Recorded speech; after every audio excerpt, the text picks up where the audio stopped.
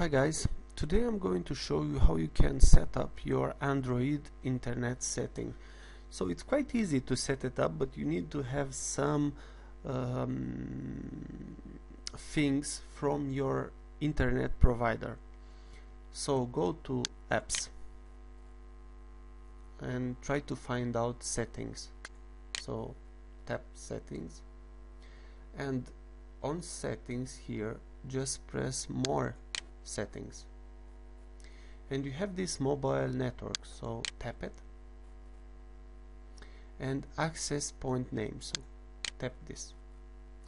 Here um, if you do not have something like this you have to create an APN so uh, you have to have some uh, settings from your internet provider from your mobile internet provider uh, just tap on the menu uh, button and create a new APN so here you have to set a name an APN a proxy a port a username maybe a password and you have to have all this data before you can um, save the internet connection.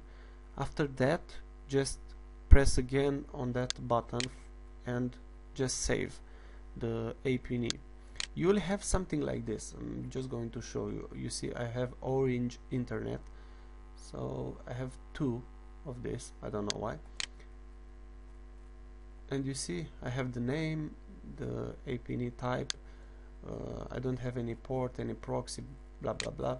I have MCC MNC authentication type APN type default so this is what my uh, internet provider uses. Uh, you have to try to find out that settings and after that create this APN so it's quite easy. Just find out that settings. If you have any more question leave a comment below. I'll try to answer it. And uh, don't forget to subscribe and to have a good day. Bye bye